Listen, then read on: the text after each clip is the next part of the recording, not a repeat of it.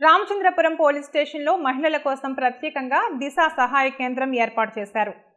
రాష్ట్రంలో మహిళలు పోలీస్ స్టేషన్కు రావడానికి ఎటువంటి భయం లేకుండా నిర్భయంగా రావాలని దిశ సహాయం కేంద్రాలు ఏర్పాటు చేశారు. ఈ సందర్భంగా డీఎస్పీ బాలచంద్రారెడ్డి మాట్లాడుతూ డీజీపీ గౌతమ్ సవాంగ్ ఆదేశాల మేరకు ప్రతి పోలీస్ స్టేషన్లో కూడా మహిళల కోసం ప్రత్యేకంగా సహాయ కేంద్రం ఏర్పాటు చేస్తున్నామన్నారు.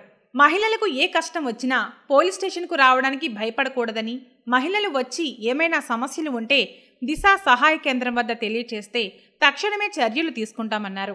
ప్రసన్న విఘ్నేశ్వర వారి సహకారంతో పోలీస్ స్టేషన్కు పార్కింగ్ షెడ్ నిర్మించారని తెలియజేశారు అంతేకాకుండా ప్రజలు మాస్క్ లేకుండా నిర్లక్ష్యంగా వ్యవహరిస్తున్నారని అందువలన పోలీస్ శాఖ స్పెషల్ డ్రైవ్ నిర్వహించి మాస్క్ ధరించని వారిపై జరిమానా విధిస్తున్నామని డీఎస్పీ బాలచంద్రారెడ్డి తెలియజేశారు. ఈ కార్యక్రమంలో CI Srinivas SI P Vijayashankar Prasanna Vighneswara సంస్థ ప్రొపరేటర్ సత్తి వెంకటరెడ్డి మిగతా పోలీస్ సిబ్బంది మహిళా పోలీసులు పాల్గొన్నారు. చంద్రపురం పోలీస్ స్టేషన్లో విమెన్ హెల్ప్ డెస్క్ ప్రారంభించడం జరిగింది.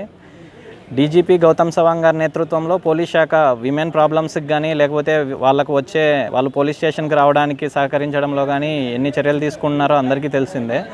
దానిలో భాగంగా ఏ విమెన్ కూడా భయపడకూడదు. స్టేషన్కి రావడానికి భయపడకూడదు అనే ఉద్దేశంతో ఈ అన్నీ చేయడం జరిగింది. అలాగే ఈ ప్రసన్న విఘ్నేశ్వర సంస్థల వారి సహకారంతో మా రామచంద్రపురం పోలీసులు ఈ పార్కింగ్ లాట్ కూడా ఒకటి తయారు చేయడం జరిగింది. ఆయనకి ఈ సందర్భంగా నా కృతజ్ఞతలు. అలాగే మళ్ళీ కరోనా సెకండ్ వేవ్ విజృంభిస్తుంది అందరికీ తెలిసిందే. దీనికి ముఖ్య కారణం వచ్చేసి మన నిర్లక్ష్యం. అంటే మాస్కులు పెట్టుకోవడం ఎందుకు? లేకపోతే ఆల్రెడీ వ్యాక్సిన్ వచ్చేసింది కదా ఇంకా భయపడాలా కరోనాకు అనే ఆ నిర్లక్ష్యము. ఎంత వ్యాక్సిన్ వేసుకున్నా కూడా మాస్కులు వాడండి శానిటైజర్లు వాడండి. అలాగే ఇప్పుడు రోజు evening time special drive conduct చేయడం జరిగింది. మీరు మాస్కులు పెట్టుకోకుండా దొరికితే మాత్రం ఖచ్చితంగా అందరికీ రూరల్ ఏరియాస్లో అయితే ఫైవ్ హండ్రెడ్ రూపీస్ అర్బన్ ఏరియాస్లో అయితే వెయ్యి రూపాయలు ఖచ్చితంగా ఫైన్ వేయడం జరుగుతుంది. కాబట్టి పోలీసులకు సహకరించండి. కరోనాను ఎంత త్వరగా నిర్మూలించగలిగితే అందరికీ అంత మంచిది కాబట్టి అందరూ మాకు సహకరించాలని కోరుకున్నాను థ్యాంక్ యూ